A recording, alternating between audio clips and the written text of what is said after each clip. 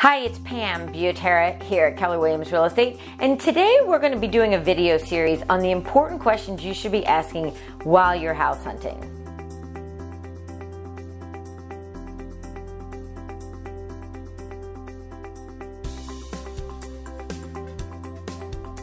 Okay, so an important question to be asking while you're house hunting is what's the age of the big ticket items? And as your trusted advisors, we are always going to make sure to point out the age of the roof, the age of the heater, the air conditioning unit, the hot water heater, because you don't want these to be surprises once you get into your house and you're only living there for a couple of months and they need to be replaced because these are big ticket items. So we're going to make sure you know upfront if they have been replaced recently and if not, how much you're going to need to budget when these items do need to be replaced so you can make a sound decision on choosing the right home for you.